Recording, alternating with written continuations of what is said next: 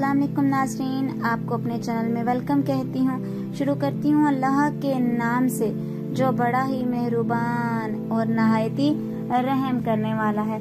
अलैका या रसूल अल्लाह वाला का व सहाबी का या हबीब अल्लाह नाजरीन, आज की इस वीडियो में मैं आपको सूरह अल बकरा की आयत नंबर दो का तर्जुमा और उसकी तफसीर बयान करूँगी। वीडियो का आगाज़ करते हैं।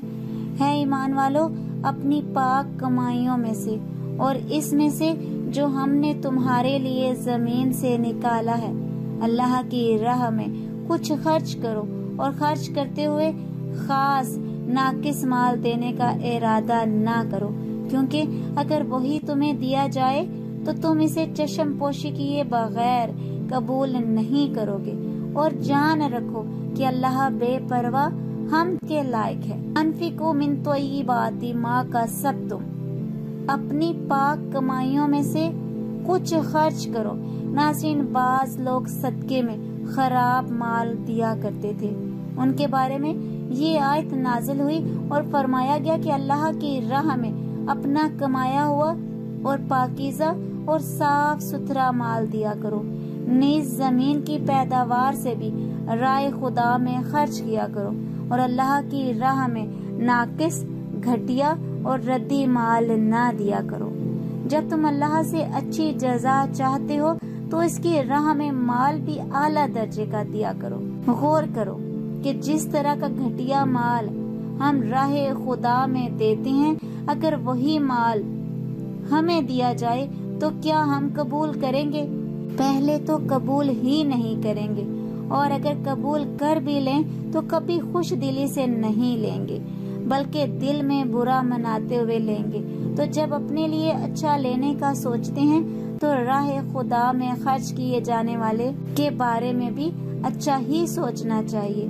नजीन, बहुत से लोग खुद तो अच्छा इस्तेमाल करते हैं, लेकिन जब राह खुदा में देना होता है तो नाकाबले इस्तेमाल और घटिया किस्म का देते हैं।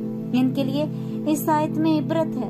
नाजिन अगर कोई चीज़ अपने लिए अच्छी लगती है, लेकिन आदमी को खुद पसंद नहीं। नाजिन अगर कोई चीज़ खुद तो बहुत अच्छी है, लेकिन हमें वो खुद पसंद नहीं तो इसके देने में कोई हर्ज नहीं।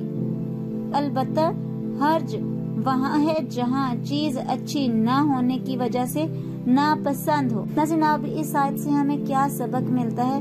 आपके साथ ये भी शेयर कर लेती हूँ कि इससे कमाने की इजाज़त साबित होती है। आयत में नफली और फ़र्ज़ सदका दोनों दाखिल हो सकते हैं। अपनी कमाई से खैरात करना बेहतर है, क्योंकि फरमाया अपनी कमाइयों में से माले हलाल से खैरात किया जाए। सारा माल खैरात ना करे, बल्कि कुछ अपने खर्च के लिए भी रखे, जैसा कि मिम्मा में से के लफ्ज से मालूम होता है। न सिर्फ़ ज़मीन की पैदावार से भी रह खुदा में दिया जाना चाहिए। नाजिन खुआ वो गले हों, फल हों, नीस पैदावार कम हो या ज़्यादा, बैर सूरत देना चाहिए। आज की इस वीडियो में इतना ही। अगर आपको मेरी वीडियो अच्छी लगी हो तो लाइक और शेयर कीजिएगा। और अगर मेरे चैनल पर नए हैं तो सब्सक्राइब कर लें। साथ वाले बेल के आइकन को क्लिक कर लें ताकि मेरी हर नई आने वाली वीडियो की अपडेट आप तक पहुँचती रहे। अपनी कीमती राय का इजहार कमेंट बॉक्स में कीजिएगा। अपना बहुत सा ख्याल रखिएगा। मुझे अपनी दुआओं में याद रखिएगा। मिलते हैं अगली वीडियो में। तब तक के लिए अल्लाह हाफिज।